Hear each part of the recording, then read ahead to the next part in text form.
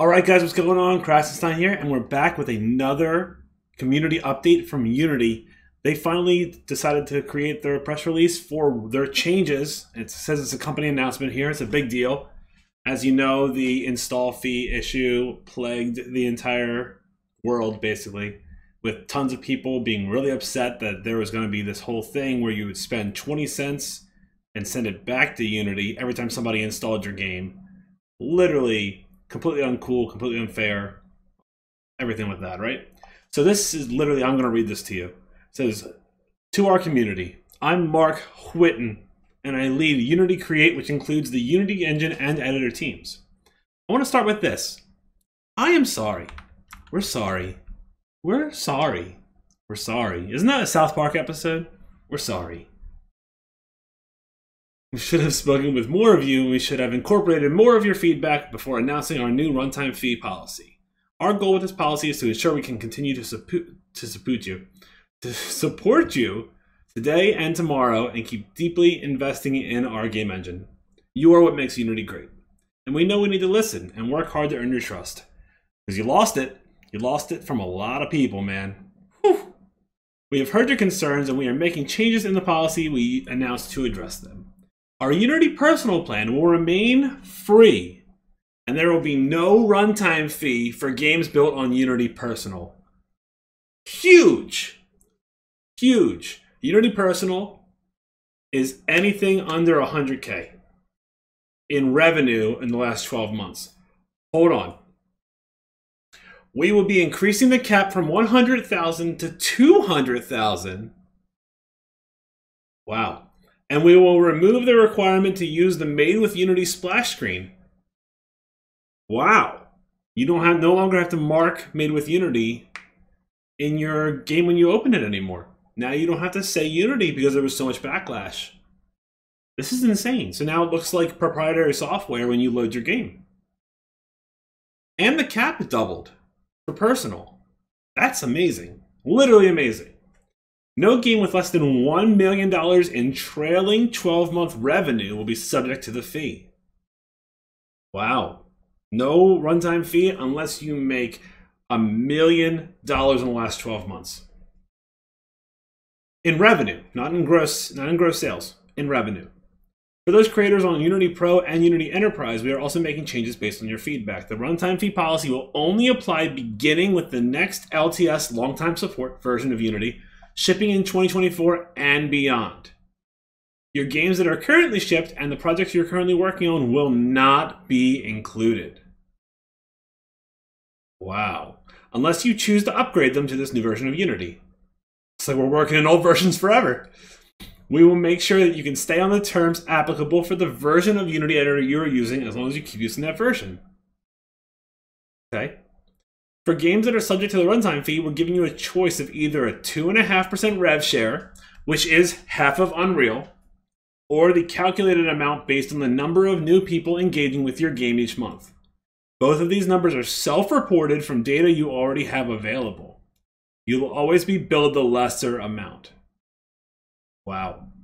We want to continue to build the best engine for creators. We truly love this industry, and you are the reason why. We'd like to invite you to join them for a live fireside chat hosted, hosted by Jason Weimann today at 4 p.m., literally two hours from now, where you'll do your best to answer your questions. In the meantime, here are some details. Here are some details. Let's see what the details are. Pricing updates. Okay. This page summarizes and replaces the prior runtime fee introduced September 12th, which was a disaster, right? This, uh, if you're on Unity Personal or Plus, the fee does not apply. The new one will only apply to Unity Pro and Enterprise. That's huge. No games created with any with any currently supported Unity version will be impacted. Only those created with or upgraded to the long-term support version releasing in 2024 or later, currently referred to as 2023 LTS, will be impacted. For those games, the fee is only applicable after a game has crossed two thresholds: a million dollars in gross revenue, trailing 12 months, and a million initial engagements. A million and a million instead of 200, 200. Those crossing those two thresholds, you can choose to pay the runtime fee either based on monthly initial engagements or 2.5% of gross revenue. You'll be charged lesser of the two. Here's the updates. Okay. Unity Personal, no runtime fee, splash screen optional. That's huge. The Unity personal plan will remain free. There'll be no runtime fees for games built with the plan. We'll be increasing the annual revenue and funding limit from 100k to 200k. We'll remove the requirement to use the Made with Unity splash screen. Runtime fee does not apply to any games created with any currently supported Unity versions, so no retroactivity. We'll make sure that you can stay on the terms applicable for the version of Unity you're using as long as you keep using that version. Keeping the old TOS. This is everything they this is everything they wanted. Everything that everyone complained about that we wanted. Right? You have a choice of the lesser of two and a half rev share or the calculated amount, and you get paid you get charged for the lesser of the two. That's crazy. Look at all this stuff. Runtime fee apply to your game. Does not apply to any games in 2022 LTS, 2021, 2020, or anything earlier. Wow. That's awesome. Is there anything about how uh, define initial engagement? We first introduced the runtime fee policy. We use the term installs, which the community found to be unclear and nuclear. So we're using the term initial engagement as a measure, a unit of measure. We define an initial engagement to mean the moment that a distinct end user successfully and legitimately acquires, downloads, or engages with a game powered by the Unity runtime for the first time in a distribution channel.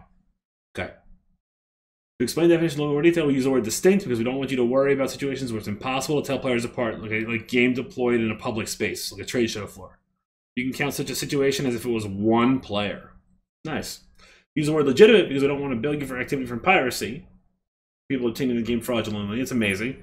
We use the term end user because we don't want to bill you for activity from your development team.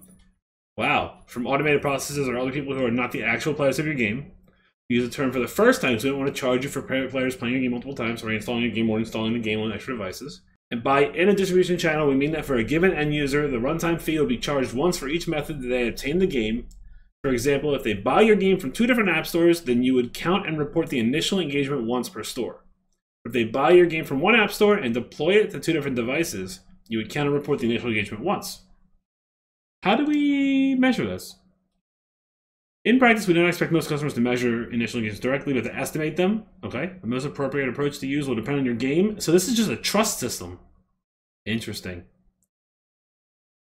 Very interesting. This list is not comprehensive. Okay, wait. For game upfront, upfront payment, using the number of units sold as an acceptable estimate, tracking units where end user requested a refund.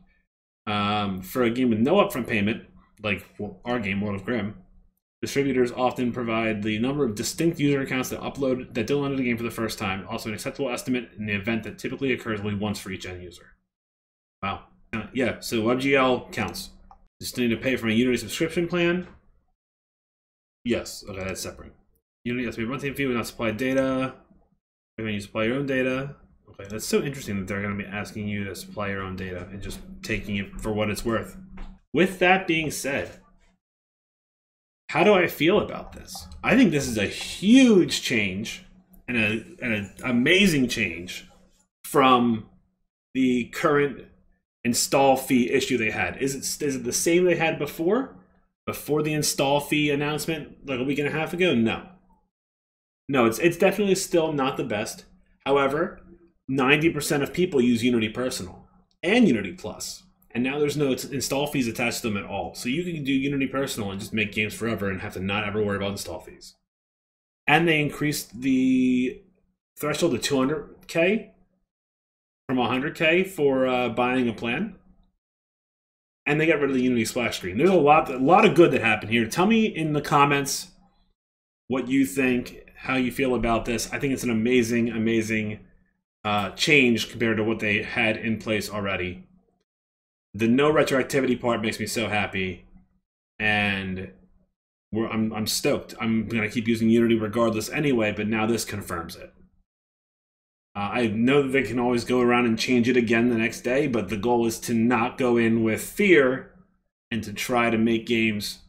And I hope one day that we do have to deal with runtime fee because that means we're making so many sales in our game. Like that's a great thing, right?